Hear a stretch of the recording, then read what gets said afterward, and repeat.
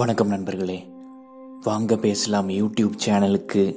உங்களை அன்போடு வரவேற்கின்றேன். என்னோட பேர் நம்பிக்கை கண்ணன். இந்த சேனல்ல வார வாரம் திங்கட்கிழமை ஒரு புது வீடியோ வெளிவரும். அதை நிச்சயமா பாருங்க. உங்க நண்பர்கள்கிட்டயும் சொல்லுங்க. இன்னைக்கு நம்ம எதை பத்திங்க பேச போறோம்? ஒரு வாக்கியம் இருக்குங்க ஒரு சென்டென்ஸ் உங்களுக்கே தெரியாம நீங்க அதை அடிக்கடி பயன்படுத்திக்கிட்டு இருக்கீங்க. உங்களோட வெற்றிக்கு அது பெரிய ஒரு தடையாக இருக்குங்க. அது என்ன வாக்கியம்? தெரிஞ்சுக்கிறதுக்கு இந்த வீடியோ நீங்கள் ஃபுல்லாக பாருங்கள் தமிழ் மோட்டிவேஷன்ஸ் யூடியூப் சேனலுக்கு சப்ஸ்கிரைப் பண்ணிவிடுங்க சப்ஸ்கிரைப் பண்ண உடனே நீங்கள் ஒரு பெல் சிம்பிள் பார்ப்பீங்க. அந்த பெல் சிம்பிளை கிளிக் பண்ணிவிடுங்க ஸ்க்ரீனில் ஒரு வாட்ஸ்அப் நம்பர் தெரியுங்க. அதுக்கு ஒரு மெசேஜ் அனுப்புங்க. தினமும் பயனுள்ள தகவல்கள் உங்களோட ஃபோனுக்கு வந்து சேரும். ஒரு சில வாரம் முன்னாடி நான் ஒருத்தருக்கு லைஃப் கோச்சிங் பண்ணிகிட்டு இருந்தேன். அவரோட அனுமதியோடு தான் இந்த விஷயத்தை நான் உங்ககிட்ட பகிர்ந்துக்கிறேன். அவர் ஆஃபீஸில் வேலை பார்த்துக்கிட்டு இருக்காரு. ஒரு நாள் நூறு பேர் கலந்துக்கிற ஒரு மீட்டிங்கில் அவரோட மேனேஜர் அவரை கடுமையாக திட்டுறாரு. நீங்கள் வந்து இந்த இந்த தப்பெல்லாம் செஞ்சுருக்கீங்க இனிமேல் இதெல்லாம் செய்யாதீங்க உங்களை நீங்கள் கரெக்ட் பண்ணிக்கோங்க அப்படின்னு கடுமையான வார்த்தைகளில் திட்டுறாரு. அவரால் அதை தாங்கிக்க முடியல. ஏன்னா அவர் சிறப்பாக செயல்பட்டுக்கிட்டு இருந்தார். தன்னோட மேனேஜர் தன்னோட தப்பை இப்படி எல்லார் முன்னாடியும் சொல்லி அவமானப்படுத்திட்டாரே அப்படின்னு ஒரு வருத்தம். என்ன இருந்திருந்தாலும் மேனேஜர் நேரில் கூப்பிட்டு தனியாக சொல்லியிருக்கலாமே இப்படி பண்ணிட்டாரே அவர் அப்படின்னு கடுமையான ஒரு வேதனை கடுமையான ஒரு மன வருத்தம். இந்த மன வருத்தத்தோடு அவர் வீட்டுக்கு போகிறாரு வீட்டுக்கு போகும்போது மனைவி டிவி பார்த்துட்டு இருக்காங்க. மனைவி கிட்ட இவர் வந்து காஃபி கேட்குறாரு கொஞ்சம் காஃபி கொடுங்க அப்படின்னு.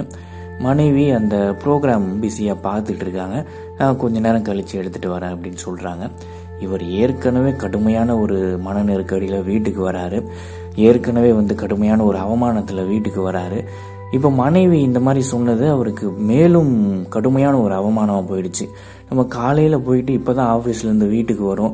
ஒரு காஃபி கூட கொடுக்க மாட்டுறாங்களே அதுக்கு கூட நமக்கு உரிமை இல்லையா? ஒரு காஃபி குடிக்க கூட உரிமை இல்லையா? அப்படின்னு அவருக்குள்ள கோபம் பொங்கி எழுந்துருச்சு. கடுமையான வார்த்தைகளில் மனைவியை திட்டுறாரு. அவங்களும் திட்டுறாங்க இவரும் திட்டுறாரு. பெரும் சண்டையாக அது உருவெடுத்து கடைசியில் என்ன ஆச்சு அப்படின்னா அவங்க விவாகரத்து வாங்கிட்டாங்க. இந்த அளவுக்கு அது ஒரு மிகப்பெரிய ஒரு சண்டையாக உருவாயிருச்சுங்க. இந்த விஷயத்த அவர் என்கிட்ட சொல்கிறாரு சொல்லி முடிச்சுட்டு என்னங்க பண்ணுறது இந்த பாலா போன கோபம். அதனால் என் வாழ்க்கை இப்படி ஆயிடுச்சு என்னங்க நான் இவ்வளோ ட்ரை பண்ணுறேன் கோபத்தை என்னால் கட்டுப்படுத்த முடியல. நம்மெல்லாம் மனுஷங்க தானே அப்படின்னு சொல்லி முடிக்கிறாரு. இந்த வீடியோ ஆரம்பிக்கும் போது ஒரு வாக்கியம் அதை உங்களுக்கே தெரியாமல் நீங்கள் யூஸ் பண்ணிக்கிட்டு இருக்கீங்கன்னு சொன்னல அது என்ன வாக்கியம் தெரியுமா? நாமெல்லாம் மனுஷங்க தானே அப்படின்ற அந்த வாக்கியம். அதை ஒரு பலவீனமான ஒரு வாக்கியமாக பயன்படுத்திக்கிட்டு இருக்காங்க நிறைய பேர். நம்மக்கிட்ட ஒரு தப்பு இருக்குது அப்படின்றத நம்ம ஒத்துக்கிட்டால் மட்டும்தானே அதை சரி செய்ய முடியும்.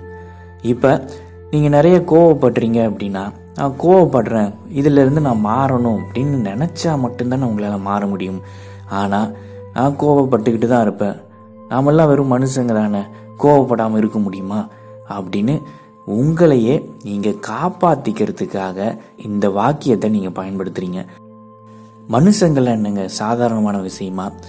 இந்த உலகத்தில் எந்த உயிரினங்களுக்காவது ஆறறிவு இருக்கா? நமக்கு தானே இருக்குது ஆதிவாசிகளாக இருந்த நாம் அந்த ஆறறிவை பயன்படுத்தி இன்றைக்கி வந்து எவ்வளோ கண்டுபிடிப்புகள் எவ்வளோ அதிசயங்கள் மனிதர்கள் நாம் செஞ்சுக்கிட்டு இருக்கோம். ஆதிவாசிகளாக இருந்த நாம் இன்னைக்கு அருமையாக வாழ்ந்துக்கிட்டு இருக்கோம்ல. இப்போ நான் இந்த வீடியோவை ஸ்வீடன்லேருந்து நான் ரெக்கார்ட் பண்ணி இதை நான் பதிவு பண்ணுறேன் உலகத்தில் எங்கே இருந்தாலும் இதை பார்க்க முடியும்ல. எவ்வளோ ஒரு முன்னேற்றம் எவ்வளவு கண்டுபிடிப்பு மனிதர்களுக்குள்ள எவ்வளோ மிகப்பெரிய ஒரு ஆற்றல் இருக்குது இதையெல்லாம் மறந்துட்டு நாமெல்லாம் வெறும் மனுஷங்க தானே அப்படின்னு ஒரு பலவீனமாக உணர்வது எவ்வளோ பெரிய தப்புங்க. கோபத்தை கையாள முடியாத போது அதுக்கப்புறம் மற்றவங்க மேலே பொறாமப்படுறத தடுக்க முடியாத போது மாற்றங்களை விரும்பாத போது சோம்பேறித்தனத்திலிருந்து வெளியில் வர முடியாத போது தன்னோட தவறுகளை சரி செய்ய முடியாத போது மனிதர்கள் பயன்படுத்துகிற வாக்கியம்தான் நாமெல்லாம் வெறும் மனுஷங்க தானே. இது வந்து ஒரு தந்திரம். தன்னுடைய பிழைகளை மறைக்கும் தந்திரம். தன்னுடைய தோல்விகளை மறைக்கும் தந்திரம். இந்த வாக்கியம் உங்களை மேலும் பலவீனப்படுத்தும். நாம வந்து நமக்குள்ள ஒரு சக்தி இருக்கு நமக்குள்ள ஒரு ஆற்றல் இருக்கு நம்ம எல்லாம் மனிதர்கள் நம்ம சக்தி வாய்ந்தவர்கள் அப்படின்ற மனநிலை இருந்தால் தானே உங்களால் சவால்களை எதிர்கொண்டு ஜெயிக்க முடியும். அந்த மனநிலை இருந்தால் தானே உங்களோட கோபத்தை கட்டுப்படுத்தி ஒரு சாந்தமான மனிதனாக நீங்கள் மாற முடியும்.